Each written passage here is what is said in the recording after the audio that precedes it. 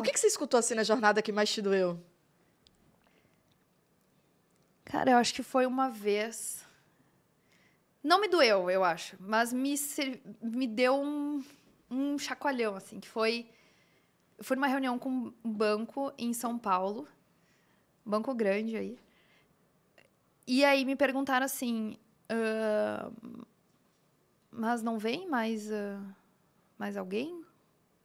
Daí eu falei, como assim alguém?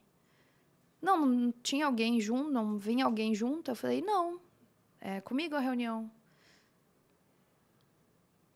Tá.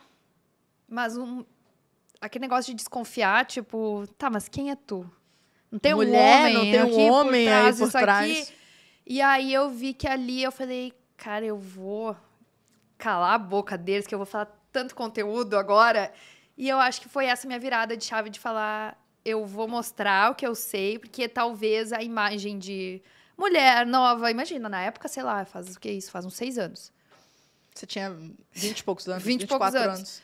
Eu falei, agora eu vou. Tá tudo certo. Talvez é a, a imagem que eles têm. na- E, e para mim isso teve muito claro sempre. O que o outro olha diz respeito mais a ele. Se ele tá falando isso, cara, pode ser que mais gente tenha essa percepção.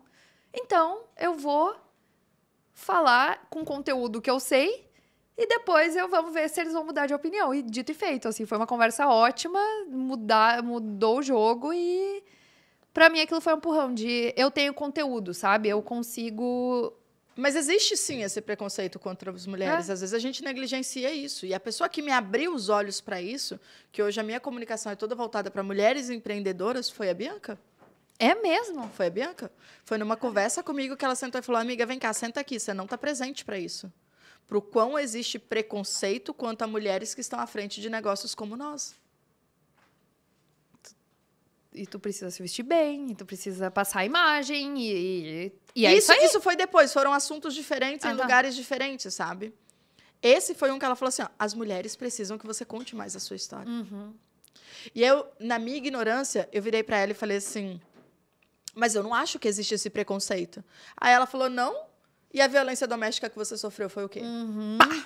Na cara. Toma! Toma! E é exatamente o que você falou agora. Ele vem velado. Uhum. Ele é um preconceito que vem velado. Velado é. É difícil para homens verem mulheres bem-sucedidas ocupando lugares de outros homens, Uhum. à frente de grandes negócios, e é inconsciente que isso acontece. E aí está nas nossas mãos mudar essa relação e É essa visão do mercado quanto a gente. O que é desafiador igual, porque você teve desafios na sua jornada. E aí eu fui lá, só mostrei que eu era a melhor possível pra estar naquela mesa, naquela hora, sentada naquela cadeira. E é, e ponto final, sabe? Eu acho que puxar muito pra esse.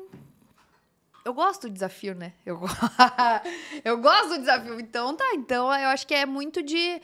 E aí isso veio muito pra Epimax, assim, de. A gente quer as melhores pessoas, independentemente de quem seja, de que gênero seja, a gente quer as melhores pessoas, né? Com sangue nos olhos, com a garra, com a vontade de fazer acontecer.